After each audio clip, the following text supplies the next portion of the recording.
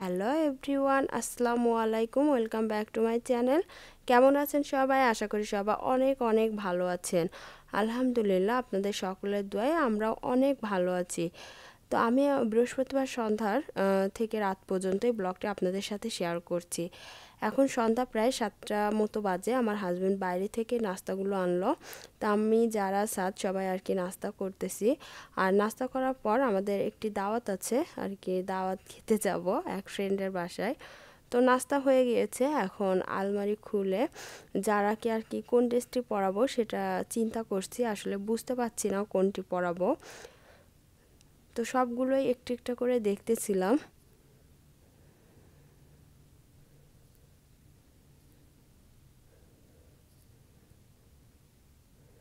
আসলে ভাবছি party dress পরাবো কি না এমনি অন্য ড্রেস পরাবো।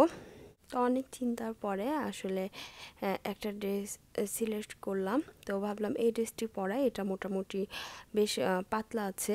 পরে আরাম পাবে। আর যেহেতু বাচ্চারা এক জায়গায় হলে ওরা কিন্তু স্থির মোটেও থাকে না।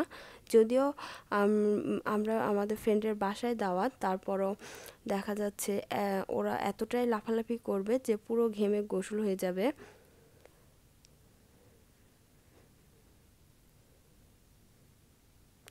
তো যারা ড্রেস সিলেক্ট করা হলো, এবার ছাদের জন্য আসলে ড্রেস বের করছি।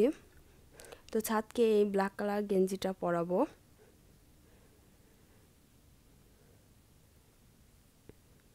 এটা মোটামুটি বেশ পাতলা আছে, পরে আরাম পাবে। আর ছাদও এখন বেশ বড় হয়ে গিয়েছে, ও আসলে বা যখন সব বাচ্চারা একসাথে হয়, ও স্থির থাকে না, সবার সাথে খুবই ছুটাছুটি করে। তো এই প্যান্ট, এটা হচ্ছে থ্রি কোয়ার্টার প্যান্ট, আর এই ব্ল্যাক কালার গেঞ্জিটা ওকে পরাবো।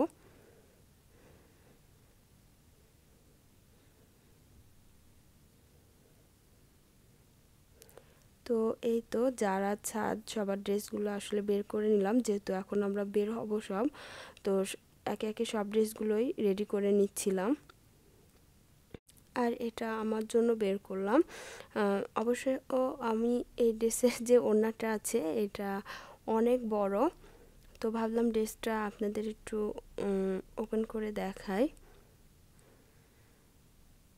এটা কিন্তু আমি অনলাইন থেকে কিনেছিলাম। তো আমি এটা বেশ কিছুদিন আগে বানিয়েছিলাম। বানানোর পর আসলে একদিনও ওইভাবে পড়া হয়নি। তো ভাবলাম আজকে পড়ি।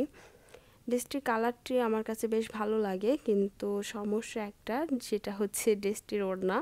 ওড়নাটা অনেক হেভি যার জন্য আমি ড্রেসটি আসলে এতদিন বানিয়েও পরিনি ওইভাবে। ওড়নাটা আসলে অনেক অনেক হেভি তো আজকে ড্রেসটি আসলে পরতে ইচ্ছা করল, তো সেজন্য আর কি বের করলাম। তো সব কিছু আর কি গুছিয়ে নিলাম, আমার যারা ছাদ সব কিছু গুছিয়ে এখন আর কি প্রথমে যারাকে, তারপরে ছাদকে, তারপর আর কি আমি রেডি হব।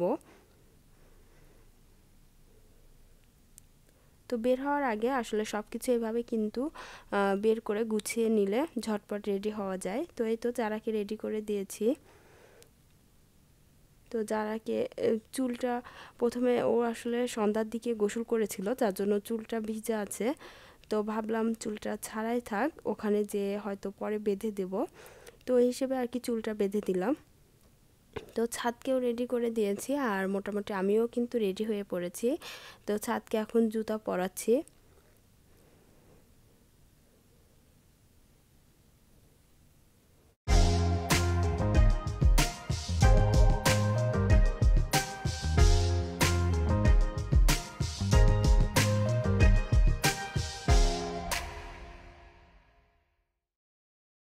এই তো আমরা সবাই মোটামুটি রেডি হয়ে গিয়েছি, এখন বের হয়ে পড়ব।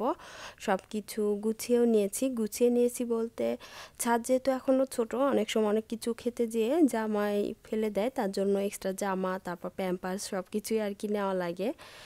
তো সব কিছু আর কি গুছিয়ে নিলাম, এখন বের হয়ে যাব। তো বের হয়ে যাওয়ার আগে ভাবলাম আপনাদের কাছে একটা জিনিস শেয়ার করি, সেটা হচ্ছে এই ওড়নাটা কিন্তু আমি লাস্ট পর্যায়েও পড়তে পারিনি।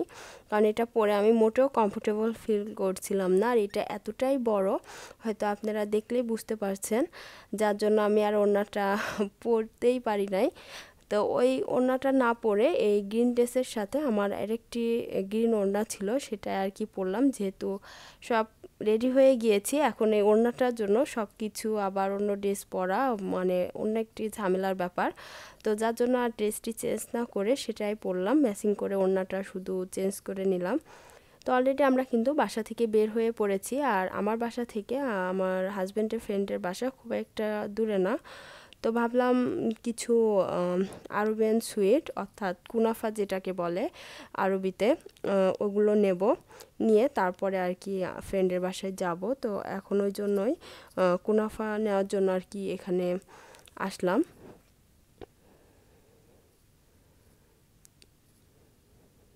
আর আরবিয়ান এই মিষ্টিগুলো, খেতে কিন্তু বেশ ভালো লাগে। আমার কাছে তো মোটামুটি ভালোই লাগে। জানি না কার কাছে কেমন লাগে। তো আমার হাজব্যান্ড অলরেডি শপের ভিতরে গিয়েছে কোনো ফাটা নেওয়ার জন্য। আর আমরা সবাই গাড়িতে বসে সবাই বলতে আমি যারা ছাদ তো ছাত্রই তো দুষ্টামি করে।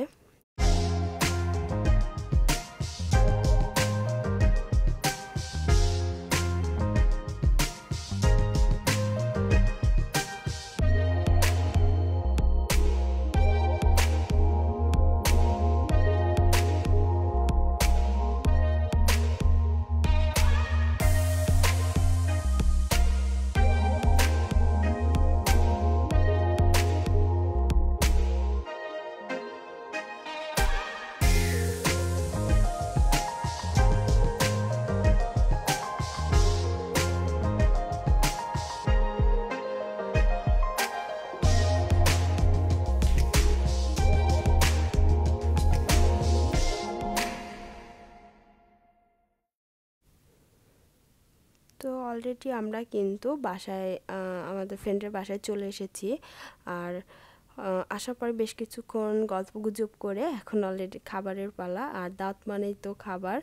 আর ভাবি এতগুলো বেশি রান্না করেছিল যে কি বলব, কোনটা ছেড়ে কোনটা দেখাবো, যার জন্য ওইভাবে আর দেখালাম না।